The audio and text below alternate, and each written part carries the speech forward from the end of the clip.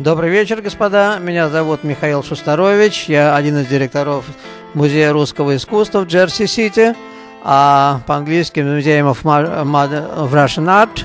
Сегодня я хочу вас провести по залам нашего музея, познакомить вас с художниками, которые представлены на сегодняшней выставке. Первая картина, две картины – это Тагуши Баргисян, а, художницы, которая была рождена в Ереване, в Армении. Сегодня она живет и работает в Нью-Йорке. Две ее интересные работы. Одна называется «В лодке», вторая работа здесь представлена перед вами. Она без названия, но, так сказать, в, той же манере написано, какой работает эта художница. Две работы Алевтины Игнатьевой, художника, которая живет и работает в Джерси-Сити. Одна из этих работ, вот эта абстрактная, посвящена ее внукам. На этой работе есть инициалы ее внуков J and O.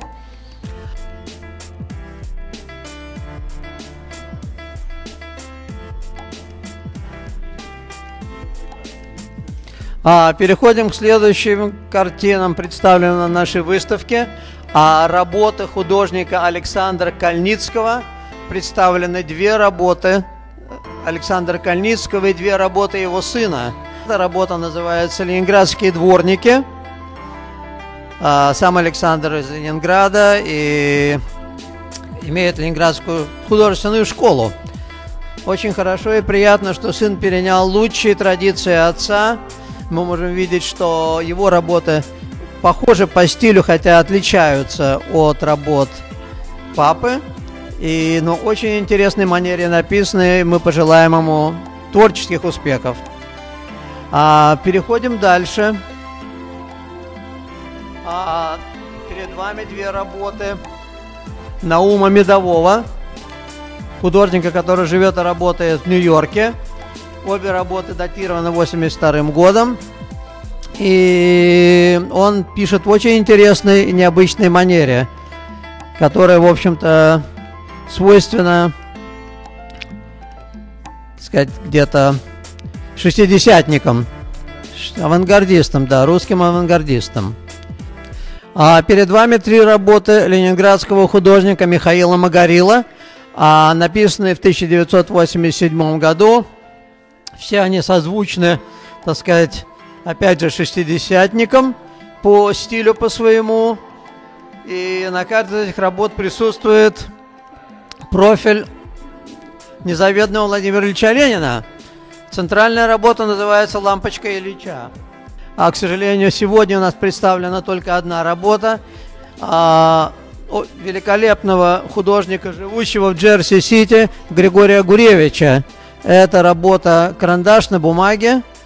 А, очень интересной манере выполненная и заслуживает внимания. Следующей нашей остановкой будет романтичные и потрясающие, на мой взгляд, работы художницы Екатерины Смирновой, а, которые ее работы достойны, на мой взгляд, украшать стены любого музея – они интересны, они написаны, так сказать, только в ее манере и очень, очень приятные, очень симпатичные работы.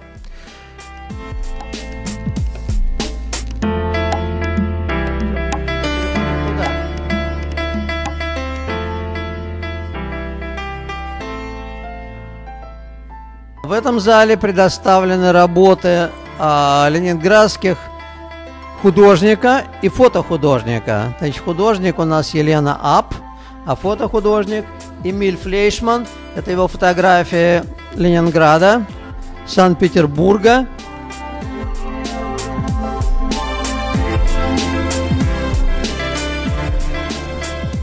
Здравствуйте, меня зовут Эмиль Флейшман. Мои работы представлены сегодня на выставке в Музее русского искусства здесь, в Нью-Джерси. А, хотел сказать пару слов о себе.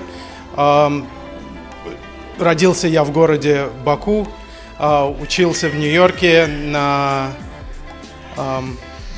курсе психологии и всегда имел любовь к путешествиям. И это было мое, было мое хобби, которое переросло вот в работу, которая сегодня представлена здесь на, а, на, сегодня, на этой выставке.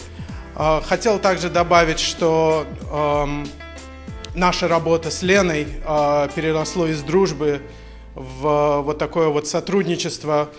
Мы много говорили об этом друг с другом, оба разделяем любовь к путешествиям и надеемся, что вот эта вот выставка, наша первая выставка вместе и не последняя. Благодарен всем э, директорам музея, Марго Грант, большое, большое, огромное спасибо за то, что она дала мне вот такую вот оппортюни... э, возможность э, представить мою работу здесь и дать людям увидеть и дать мне возможность показать э, то, о чем я очень э, вдохно... то, что меня вдохновляет. На этих картинах вы видите, так как Лена видит себе Санкт-Петербург. В ее романтичных картинах присутствует все, и богатство красок, и разнообразное представление Петербурга, Ленинграда, Петрограда. Вот, я думаю, сейчас мы дадим пару слов сказать самой, самому художнику. Я очень благодарна Марго Грант, Мишу Шостаровичу. Э, сейчас будет еще тяжело. Бо, Бори? Борис. Борис Беленький. Я вообще очень благодарна, что этот музей еще есть. Я знаю, что ему 30 лет. Я очень благодарна, что музей русского искусства находится. Я думаю, что это здорово, что он есть. Но я родилась в России, в Ленинграде, в Санкт-Петербурге, я не хочу никогда это забывать. Я очень благодарна людям, которые держат это творчество, искусство – в Нью-Йорке, в Америке, в Нью-Джерси, в Калифорнии. Спасибо, Леночка, спасибо. Вот, ну, господа, вы, в принципе, имеете представление о, о пару слов о нашем музее. А, музей был создан больше, чем 30 лет назад коллекционером Александром Глейзером. А, существовал сказать, на donation, как любой музей существует на donation, и нельзя сказать, что процветал, но существовал и знакомил русскоязычную и американскую общественность с произведениями художников. Очень много художников прошли через эмиграцию, очень много известных художников, таких как Михаил Шемякин, они здесь тоже выставлялись, и многие имели возможность прийти сюда и посмотреть.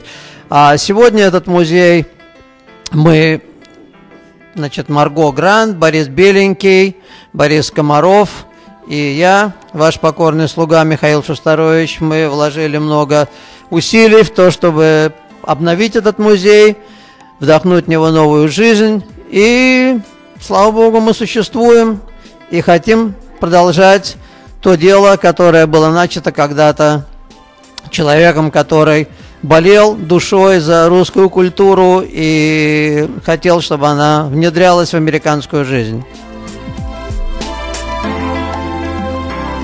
Еще пару слов о музее. Значит, э, в нашем музее а, четыре зала, которые никогда у нас не пустуют. И мы хотим, чтобы художники русскоязычные, не русскоязычные, а, которые хотят ознакомиться своим творчеством, публику могут всегда обратиться к нам, и мы можем обсудить условия проведения их выставок.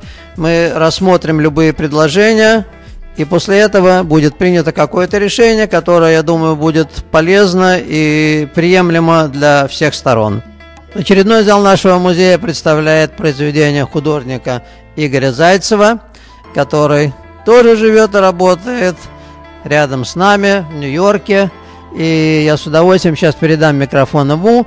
Он проведет, так сказать, вас всех по своим, вкратце ознакомиться со своим творчеством. Я написал новую коллекцию. И одно из первых выступлений, я сказал бы, вот происходит сейчас в Русском музее Джерси-Сити. И я рад, что я, в общем-то, начинаю именно с этого места, потому что это, в общем-то, мои, как бы, мои истоки. Что это концентрация моего энергетического импульса, который я выпустил, так сказать, на волю и получил бешеный источник энергии, вдохновения.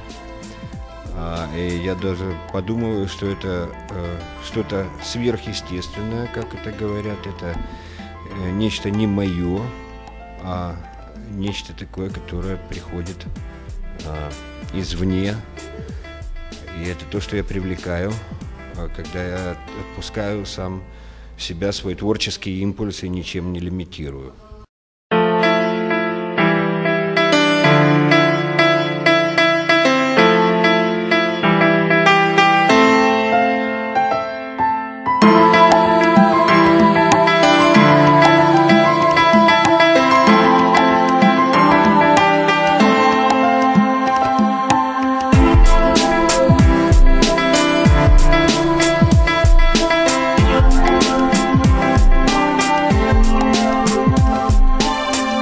Вот и закончилось наше путешествие по залам нашего музея.